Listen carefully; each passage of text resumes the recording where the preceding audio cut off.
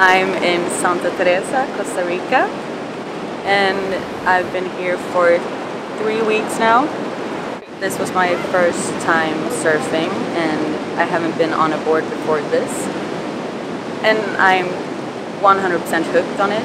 Uh, we all connected so good. So now we feel like a little family.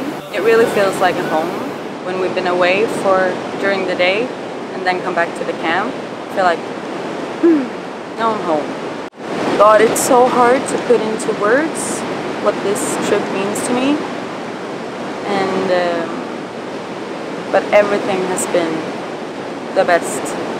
The surfing, the people, the food, the beaches.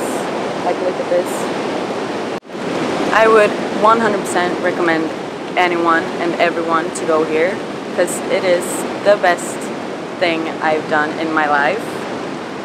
I feel like I have been I've grown into a better person on this trip with everyone around. The little family that we are. And I I would rec recommend everyone everyone to go should go